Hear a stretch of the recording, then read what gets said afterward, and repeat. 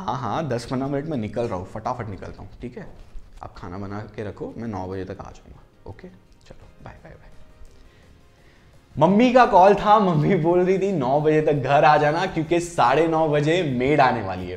क्या आपके साथ ये होता है? मेरे साथ तो ये रोज होता है।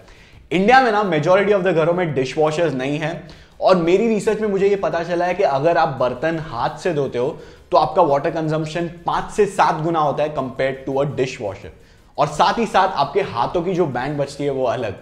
वहीं पे अगर आपके पास एक डिश वॉशर हो तो आप कभी भी बर्तन को धो सकते हो। आपका वाटर कंजम्पशन 10 से 15 लीटर होगा मैक्स टू मैक्स आपको बर्तन सुखाने की ज़रूरत नहीं पड़ेगी। और पैंडमिक जैसी सिचुएशन में जब मेड्स घर पे नहीं आती है, तब आई एम श्योर आपको वर्क फ्रॉम होम के साथ साथ वर्क फॉर होम नहीं करना है। तो दोस्तों, इस वीडियो में मैं आपको वो सारी चीज़ें बताऊँगा जो आपको ध्यान में रखनी है एक डिश वॉशर लेने से पहले। लेकिन आगे बढ़ने से पहले सिर्फ़ एक रिक्वेस्ट है।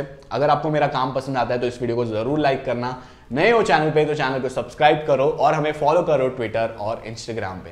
Now without wasting any further time मेरा नाम है Saurabh. Let's begin the video guys तो सबसे पहले स्टार्ट करते हैं प्राइस से। आपको एक अच्छा डिश वॉशर अराउंड बीस हज़ार रुपए के आसपास मिल जाएगा विथ एट प्लेस सेटिंग वहीं पे अगर आपके घर में ज़्यादा लोग हैं, या फिर आप दो टाइम के बर्तन साथ में धोते हो, या फिर आपके गेस्ट मतलब फ्रीक्वेंटली आते रहते हैं आपके घर पे तो आपको शायद बड़ा डिश वॉशर लेना पड़े तो वो आपको around 45 to fifty thousand rupees में विथ 14 प्लेस सेटिंग मिल जाएगा। अब ये एक जस्ट रफ एस्टिमेट मैं दे रहा हूँ। आपको डिश वॉशर्स अच्छे डिश वॉशर्स के लिंक चाहिए तो मैं आपको डिस्क्रिप्शन बॉक्स में वो दे दूँगा, आप चेकआउट कर सकते हो। और डिश वॉशर तो मतलब आपको महँगे भी मिल जाएँगे, लाख, दो लाख रुपए तक भी मिल जाएँगे। तो आप वो ले सकते हो अपने हिसाब से बट ये जस्ट एक रफ आइडिया देने के लिए मैं आपको प्राइसिंग बता रहा था। अब काफ़ी लोगों के मन में ये भी सवाल होता है कि मैं किस तरह के बर्तन धो सकता हूँ डिश वॉशर में या फिर अगर मुझे नए बर्तन लेने पड़ेंगे अगर मैं डिश वॉशर ले रहा हूँ तो? अगर अगर ज़्यादा बोल दिया मैंने शायद बट हाँ क्या मुझे नए बर्तन लेने पड़ेंगे मैं डिश वॉशर ले रहा हूँ तो, तो ऐसा बिल्कुल भी नहीं है। आप स्टील के बर्तन ग्लास सिरमिक बोन चाइना और प्लास्टिक वाले बर्तन भी धो सकते हो आपके डिश वॉशर में लेकिन हाँ आप कुछ बर्तन नहीं धो सकते हो आपके डिश वॉशर में, जैसे कि नॉन स्टिक हार्ड एनोडाइज हो गया या फिर वुड वाले बर्तन हो गए। ये सारे बर्तन आप नहीं धो सकते हो बिकॉज़ वो खराब हो जाएँगे अगर आप उसमें धोगे तो। तो ये चीज़ का आपको ज़रूर ध्यान रखना है और हाँ आयन वाले बर्तन भी आप नहीं धो सकते हो आपके डिश वॉशर में। तो ये सब ज़रूर ध्यान में रखना। अब जब भी आप कोई नया डिश वॉशर लेने जाओ तो आपको कुछ चीज़ों का मतलब अरेंजमेंट पहले से ही करके रखना पड़ेगा। और उससे भी पहले आपको ये चेक करना है कि आपके घर में कितना स्पेस अवेलेबल है तो आपको डिमेंशंस चेक कर लेनी है और उसी हिसाब से आपको डिश वॉशर लेना है। और आपको ये भी देखना है कि आप जब उसका दरवाज़ा खोलोगे तो उसका भी स्पेस आपके पास होना चाहिए बिकॉज़ डिश वॉशर ऐसे पड़ा रहेगा और आपका दरवाज़ा खुलेगा और आप वहाँ पे खड़े होगे, बर्तन रखोगे तो वो सब अकाउंट करके आप मतलब डिमेंशन ले लेना। और बाद में आपको चेक करना है कि आपके पास में थ्री पिन फिफ्टीन एम्पियर वाला सॉकेट है या नहीं है, जहाँ पे भी आप डिश वॉशर रखने वाले हो। साथ ही साथ आपको ये भी देखना है कि आपके पास में वाटर इनलेट और आउटलेट है या नहीं जहाँ पे आप डिश वॉशर रखने वाले हो, क्योंकि वो बहुत ही इंपॉर्टेंट है। पानी अगर अंदर नहीं जाएगा तो बर्तन कैसे धुलेंगे और बर्तन धुलने के बाद जो गंदा पानी बाहर नहीं जाएगा तो क्या होगा? तो ये सब चीज़ों का आपको ज़रूर ध्यान रखना है जब भी आप एक डिश वॉशर लेने जाते हो तब। ये तो थी बेसिक रिक्वायरमेंट्स अब बात करते हैं कितनी प्लेस सेटिंग वाला डिश वॉशर आपको लेना चाहिए। तो एक प्लेस सेटिंग में आप जैसे कि स्क्रीन पे देख सकते हो, ये सारे बर्तन आते हैं। तो उस हिसाब से आपको एट प्लेस सेटिंग वाला डिश वॉशर लेना चाहिए। अगर आपके घर में दो से तीन लोग हैं तो। अगर तीन से छह लोग हैं तो आपको ट्वेल्व प्लेस सेटिंग वाला डिश वॉशर लेना चाहिए।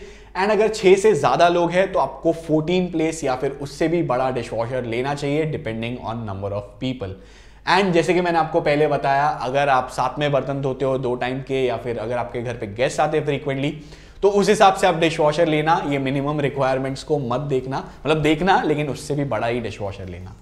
एक और चीज़ जो आपको ज़रूर चेक करनी है, वो है डेसिबल्स यानी कि डीबी अगर 40 टू 50 के बीच में है तो वो वो एक नॉर्मल रेंज है और वो ज़्यादा शोर नहीं करेगा तो आप वो डेफिनेटली ले सकते हो। लेकिन अगर 50 से ज़्यादा है तो वो शोर थोड़ा ज़्यादा होगा एंड आपको वो बॉदर कर सकता है। तो आप मतलब हो सके तो उसे मत लेना। एंड ज़्यादा पैसे पे करने की कोई ज़रूरत नहीं है फॉर कम डेसिबल यानी कि अगर आपको कोई कम डेसिबल वाला डिश वॉशर मिल रहा है बट उसका प्राइस ज़्यादा है तो आपको ज़्यादा पे करने की ज़रूरत नहीं है बिकॉज़ 40 टू 50 एक डिसेंट रेंज है। एंड uh, अगर आप किचन में सोने नहीं वाले हो तो आई डोंट थिंक सो आपको ज़्यादा पे करना चाहिए। एक और चीज़ जो आपको ज़रूर चेक करनी है, वो है ट्रे की क्वालिटी बिकॉज़ उसी में आप बर्तन रखने वाले हो और धोने वाले हो। अगर उसकी क्वालिटी अच्छी नहीं हुई तो आगे जाके बहुत दिक्कत आ सकती है तो ज़रूर चेक कर लेना। एंड ये भी चेक करना कि उसमें हाइट एडजस्टेबिलिटी वाला फीचर है या नहीं बिकॉज़ आप हाइट एडजस्ट कर सकते हो तो आप बड़े बर्तन भी रख पाओगे उस डिश वॉशर में एंड धो पाओगे। तो उस चीज़ को भी ज़रूर चेक कर लेना। अब अगर आप कोई ऐसे एरिया में रहते हो जहाँ पे फ्रीक्वेंटली पावर कट होते रहते हैं तो आपको ऑटो रेज्यूम वाला फीचर ज़रूर चेक करना चाहिए आपके डिश वॉशर में, क्योंकि अगर वो नहीं हुआ तो आपका प्रोसेस यानी कि आपका जो डिश वॉशिंग जो हो रहा था इलेक्ट्रिसिटी आने के बाद वो स्टार्टिंग से पूरा चालू हो जाएगा। तो आपको ये फीचर ज़रूर चेक कर लेना चाहिए बिकॉज़ ये फीचर अगर हुआ तो समझो अगर आपने डिश वॉशर एक घंटे के लिए चलाया था इलेक्ट्रिसिटी जाने के पहले तो वो वहीं से चालू होगा अगर ये फीचर मौजूद होगा आपके डिश वॉशर में। तो इसे ज़रूर चेक कर लेना।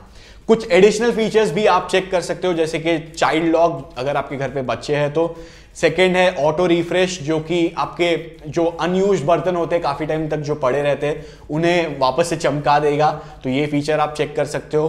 तीसरा फीचर है हाफ़ लोड जिसमें आपका इलेक्ट्रिसिटी लगभग 10 परसेंट तक बच जाएगा और आपका डिटर्जेंट वगैरह अराउंड 20 परसेंट तक बच जाएगा। तो ये सारे फीचर्स एडिशनल फीचर्स भी आप चेक कर सकते हो डिश वॉशर लेने से पहले। अब काफ़ी लोग सोच रहे होंगे, चलो यार, ये सब तो ठीक है, मैं ये सारी चीज़ें चेक कर लूँगा, लेकिन मुझे ये बताओ कि हर महीने डिश वॉशर को चलाने का खर्चा कितना आएगा?